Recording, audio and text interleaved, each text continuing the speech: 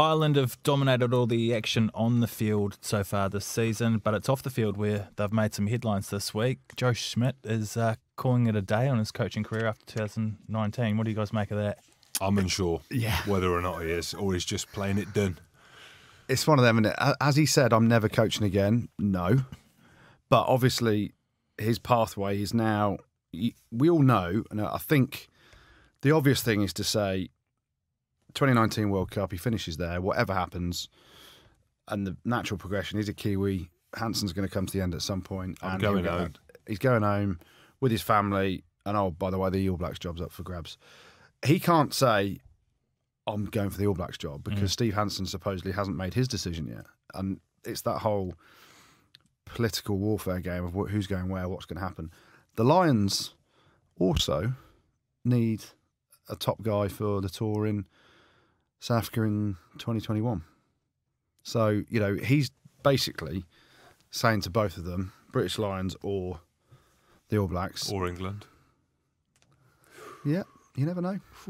I- But I he's the best, you know, his achievements, what he's achieved with Ireland in the, what's he been there, five, six years? Mate, it's been a Phenomenal. class above. Yeah. Class above the So way he's a- been. as a coach, you can you, you, you name your price for any team. He's an, he's a New Zealander, so he can get the All Blacks job. He's coached Ireland. He can get the British Lions job because he's got all the knowledge there. England are going to need someone after Eddie Jones. They've got bags of cash. They could say, hey, offer him the job. And it's like any person in any walk of life. Job offer gets put in front of you. You look at it. And apparently England tried to get Andy Farrell, but uh, he's he's going to be the next Ireland coach, obviously, um, taking over. Perfect succession planning. Yeah, we signed for four years, and he, he's then head coach for Ireland through to the 2023 World Cup. So it's very sensible by Ireland to lock him in now. He's It's also very different being head coach to defence coach. yeah, yeah, it is. It's a It big is. step.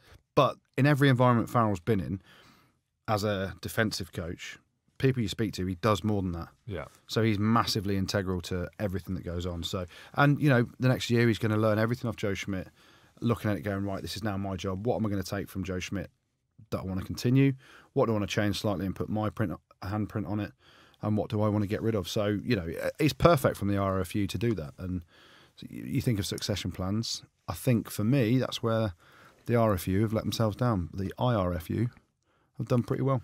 Yeah, and while we're on Ireland, um, clean sweep, coach of the year, team of the year, and Sexton, of course, uh, world player of the year. No real surprises. Yeah, well, I there. called it, didn't I? I said, I said that Sexton was going to get clown. it.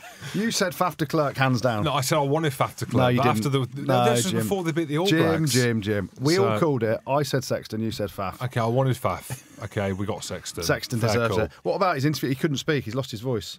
Is that because he's still absolutely steaming I think so. after beating the All Blacks? But he had a throat infection, so he couldn't actually speak. But yeah, he deserves it. Listen, he's been unbelievable.